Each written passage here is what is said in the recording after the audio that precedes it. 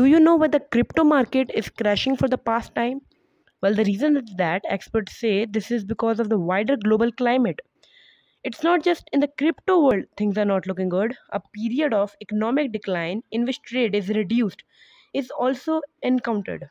Inflation is soaring, interest rates are rising, living costs are biting, stock markets are wobbling as well. But can stock markets and cryptocurrency recover? Is the real question.